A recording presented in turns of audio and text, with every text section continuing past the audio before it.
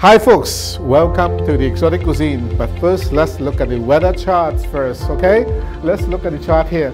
Look at the, there's a, a band of ITCZ is just 50 kilometers away and is traveling on the south and southwest direction with gusty seasonings and cooking style, and which means it's favorable to your kitchens and it could be developed into a tropical exotic cuisine and expected approaching to a tasty wind force and is expect uh, just 100 kilometers ahead to our RCN television stations in Chaguanas, in Trinidad Tobago. So have your, all your ingredients already and stand by and brace for the exotic cuisine with Chef Johnny Chow.